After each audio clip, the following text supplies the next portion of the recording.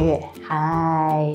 当你推算出局数之后呢，我们就可以知道他的命宫，他的第一大限是几岁到几岁？因为一个大限是十年嘛，哈，我们帮大家把那个大限的时间写上去。好，当我们知道它是什么局数，比如说这一个命主，我们推算出来是水二局，对不对？好，水二局呢是二到十一岁，于是乎我们就会在这一张命盘上面的命宫底下，会看到它的大限年岁会写着。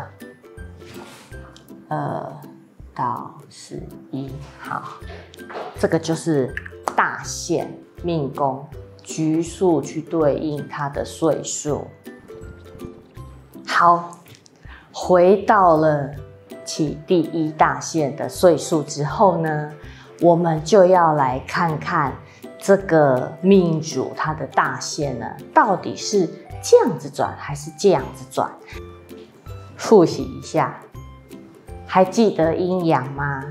甲就是阳，乙就是阴，好，这个很好对应。然后单数的都是阳，然后甲、丙、戊跟壬这些是属于阳的，乙、丁、己、辛、癸这个是属于阴的。好，那我们要来看这张盘嘞，它的大限每十年呢，到底是顺顺走还是逆逆转呢？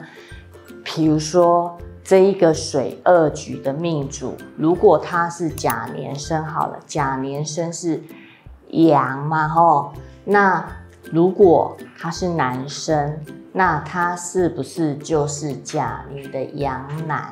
阳男在这里，那么阳男他就会顺走，顺走是什么意思嘞？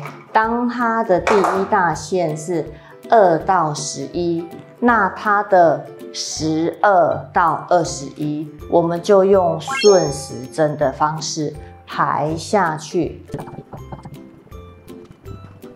如果这一位甲年生的水二局男性命主，他已经知道他的命宫在这里，排出来水二局的起运是二到十一岁，是他的第一大限，那么。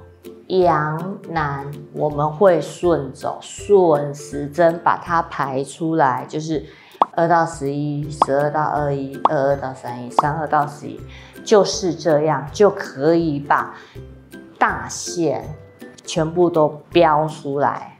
如果呢，这一个甲年生的命主她是女生的话，哈，女生养女。养女，那么她就会变成是逆走了。于是乎，这一个女生呢，她的二到十一岁还是在这里，但是她的十二到二十一岁就会落到这里喽。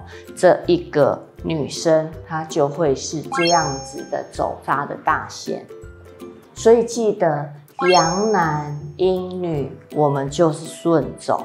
阴男阳女，我们就会是逆走。这个就是我们在命盘上呢，关于大限每十年大限的排列方式，排下去之后呢，就是固定的喽。